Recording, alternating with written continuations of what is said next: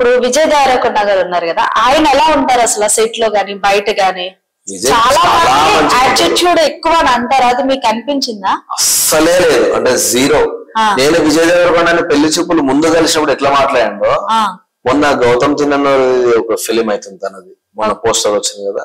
ఆ సినిమాలో కూడా నేను యాక్ట్ చేసిన చిన్న రోజులు దాంట్లో కూడా అట్లే పలకరించిండు మనకి ఏమైపోతా అంటే బయట ఏముంది ఇప్పుడు ఇంటర్నెట్ ఈజీ అయిపోయి ఏది పడితే రాసి పడేస్తారు దాని వల్ల మనోడికి అరగంట అరగంట అంటారు కానీ విజయ్తో మాట్లాడిన వాళ్ళకి తెలుసు. చాలా- సాఫ్ట్ మనోడు.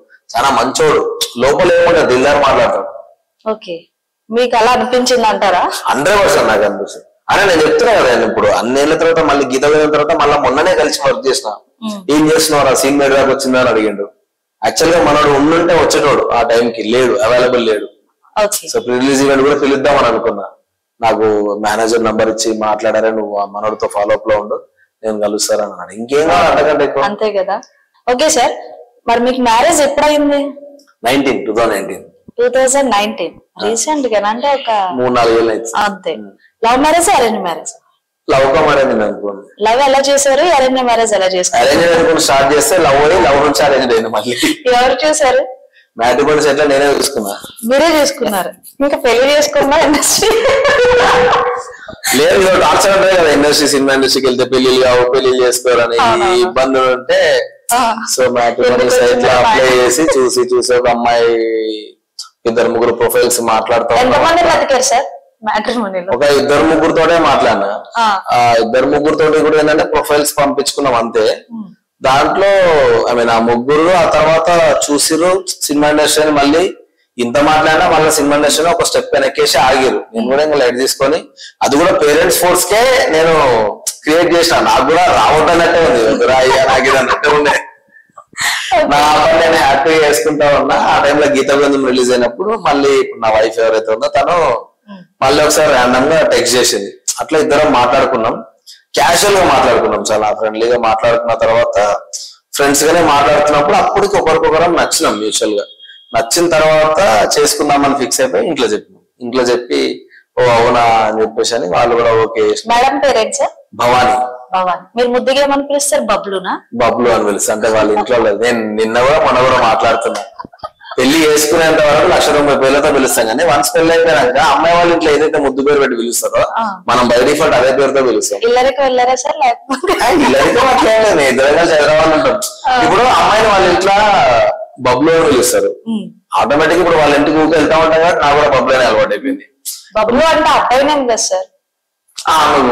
అబ్బాయి అబ్బాయి నిక్ నేమ్స్ ఏమున్నాయి అబ్బాయిలకు అమ్మాయిలు పెడతారు ఎక్కువ మోస్ట్లీ అబ్బాయిలే పిలుస్తారు కదా బబ్లు ఇట్రా మేడం బబ్లుగా ఉంటారా? ఏం అట్లేం లేదు మరి. వాళ్ళు ఎందుకు పెట్టారో తెలియదు కానీ అని నాకు అలవాటు అయిపోయింది. ఓకే.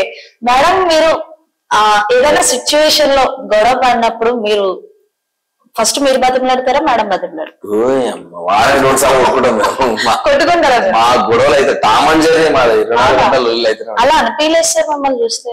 మేము అంటే బయటకి అంటే మా అన్ని బయటకి వెళ్ళిపోయి కుట్టాడు పెట్టేది కావాలి ఊరికే సరదా సరదాగా అరుచుకుంటాం మళ్ళా క్యాజువల్ వెళ్ళి మళ్ళీ మాట్లాడుకుంటాం. ఎక్కువ ఏ సందర్భంలో వస్తుంది ఇద్దరికి డిస్కషన్ అమ్మ సందర్భం అవసరం లేదు మాకు అసలు. ఒకటి క్రియేట్ అవుతుంది ఆటోమేటిక్ ఆ టైం కి.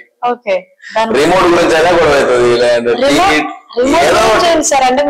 ఆమె న్యూస్ చూస్తుంది. నాకేమో న్యూస్ నచ్చదు. నేనేమో ఏదైనా సాంగ్స్ పెడతా అంట. వద్దంటది అట్లా. ఓకే. ఇన్ని చిన్న చిన్నవే పెద్ద ఏమో ఎలా ఉంటుంది సార్ మీ మేడం సపోర్ట్ మీకు? మంచి సి ఇప్పుడు నేను లెవెన్ ఇయర్స్ నుంచి నేను స్ట్రగుల్ అవుతున్నా అదంతా ఒక ఎత్తు. ఈ ఫోర్ ఇయర్స్ లైఫ్ ఇంకా ఎక్కువ ఎందుకంటే two thousand nine time nineteen టైంలో కరోనా వచ్చింది. ఈ కరోనా ఫేజ్లో అసలు నేను ఎక్కువ సినిమాలు చేయలేదు. దాంతో పాటు మళ్ళీ నేను డైరెక్షన్కి వెళ్ళిన. డైరెక్షన్కి వెళ్ళినాక ఇంకా మొత్తం బంద్ చేసిన సినిమాలు. ఆ సినిమా ఫినిష్ చేయాలని. పిట్ట కథలు హార్డ్లీ ఒక మూడు నాలుగు సినిమాలు మాత్రమే చేసిన జస్ట్ ఒక in the span of three years just imagine financial ఎంత డౌన్ అయిపోయిన బట్ స్టిల్ నాకు ఎప్పుడు ఏ ప్రెషర్ రాలేదంటే మొత్తం పాపం ఆమె హ్యాండిల్ చేసింది. తను సాఫ్ట్వేర్ ఎంప్లాయీ సాఫ్ట్వేర్ ఎంప్లాయీ తను. సో తను హ్యాండిల్ చేసుకుంది. ఆ బ్యాక్ సపోర్ట్ ఉంది. స్ట్రెంత్ బేసిక్గా మంచి స్ట్రెంత్ నాకు. ప్రతి వాళ్ళకి అలాంటి వైఫే కదా హండ్రెడ్ పర్సెంట్ కావాలి కదా. అందుకనే మాకు గొడవలన్నీ చాలా క్యాజువల్గా అనిపిస్తాయి. నాకు తెలిసి కంపల్సరీగా మీరే సారీ చెప్తారు మేడం తప్పు చేసినా నాకు బేసిక్. గా ఎక్కువ ఎక్కువ సేపు ప్రొలాంగ్ చేయబుద్ది కదా ఏది. చూస్తాం సార్ బిగ్ బాస్లో ఓకే సార్ మేడం కాకుండా మీరు ఎవరినన్నా లవ్ చేశారా? చేయలేదు. అంటే నేను ఇంటర్మీడియట్ లా ఒక్కరిని ఎవరినో ఇష్టపడ్డా కానీ మనకు అంత ధైర్యం లేదు అప్పుడు. చెప్పలేదా సార్? ఆమెకు చెప్పే ముందు మా డాడీ మొహం ఎదురు వస్తుంది. మనకంత ధైర్యం లేదు. చూసి చాలా మందిని ఇష్టపడతాం కదా. అట్లా నాకు ఇంటర్మీడియట్ ఎందుకు గుర్తుంది అంటే ఇంటర్మీడియట్ టైంలోనే boys hostel girls hostel separate separate ఉండే. ఓన్లీ క్లాసులలో మాత్రమే అమ్మాయిలు వచ్చి కనబడుతుండే ఏదో ఇట్లా వేరే ప్లానెట్కి వెళ్ళి కొందరు వచ్చినట్టు సో అట్లా చాలా సేపు కనబడుతుంది ఫీలింగ్ ఉండేది అట్లా ఎవరో ఒకరు చూసి అట్లా ఇష్టపడుతుండే కానీ అసలు ఆ పేరు గుర్తులేదు. ఎప్పుడైనా కాలేజ్ డేస్లోనే సినిమాకి వెళ్ళడం కోసం గోడలు దూకడాలు ఏమైనా చేశారా ఫ్రెండ్స్ అట్లేం చేయలే కానీ గోడలు దూకేది ఏం లేదు. చంద్రముఖి సినిమా అప్పుడు. మా హాస్టల్ వాడు ఉంటుండే. వాడు అస్సలు అలో చేయడు నాకు సో మనతో మాట్లాడి కొంచెం ఫ్రెండ్లీగా మనోడితో కొంచెం రిక్వెస్ట్ చేసుకొని గేట్లో వచ్చి శ్రీ చైతన్య. శ్రీ చైతన్యనే అనుకుంటా. ఆ, అందులోనే ఉండే. సో అప్పుడు ఆ సినిమా చంద్రముఖి సినిమా అప్పుడే నాకు బాగా గుర్తుంది. మొత్తం స్టడీ అవర్స్ అంతా అయిపోయిన తర్వాత మనం రిక్వెస్ట్ చేసుకొని మెల్లగా గేట్ ఓపెన్ చేసుకొని సినిమా చూసి వచ్చినాం. అదొక్కటే సినిమా. ఫస్ట్ అండ్ లాస్ట్ ఇక అంతే. చంద్రముఖి. అత్త తెలిసిపోయి పెద్ద క్లాస్ వీక్ ప్రిన్సిపల్ అంటే చిన్న పిల్లలం కదా అప్పుడు. ఇంటర్మీడియట్ ఎవడన్నా ఎటన్నా పోతే ఏంద్రా రెస్పాన్సిబిలిటీ అని ఉంటుంది సో. లక్కీలీ తిట్టిండ్రు. అంతే అంత మించి ఏమని లేదు. అది ఒకటే సినిమా నేను కాలేజ్ బంక్ వెళ్ళింది మాకు హాస్టల్ కాబట్టి ఎవ్రీ సండే వీక్ హాలిడే ఉంటుంది కదా. సండే పొద్దున ఎవడో పేరెంట్స్ వస్తే అంకుల్ అంకుల్ నాకు కూడా నాకు అవుటింగ్ ఇయ్యారు? అంటే ఈ అబ్బాయి నాకు తెలుసు అని వాళ్ళు అవుటింగ్ ఇస్తుండే. పోయినాం అంటే డైరెక్ట్ మల్లికార్జున బ్రహ్మ థియేటర్కి వెళ్ళి మళ్ళీ సాయంత్రం నాలుగు సినిమాలు చూసి ఇంటికి వెళ్ళిపోవడం. హాస్టల్ లైఫ్ బాగుంటది అంటారు నిజమేనా? అంటే మనం మనం ఎంజాయ్ చేసిన దాన్ని బట్టి బాగుంటది. మీరు బాగా ఎంజాయ్ చేశారా? యా అంత తెలిసి తెలియని ఏజ్ అప్పుడు మనకు ఫోన్ లేవు ఏం లేవు. సో ఆబ్వియస్లీ బాగుండే చాలా బాగుండే. ఇప్పుడు అంతా ఫోన్లు సోషల్ మీడియా పెరిగి డిస్టెన్స్ పెరిగిపోయిన దోస్తుల మధ్యలో కానీ చచ్చినప్పుడు నువ్వు ఎవరితో ఎవరితో మాట్లాడాలి నీకు? ఇంకో హాస్టల్ వెళ్ళి అంటే చదువుకోవాలి. అంతే కదా.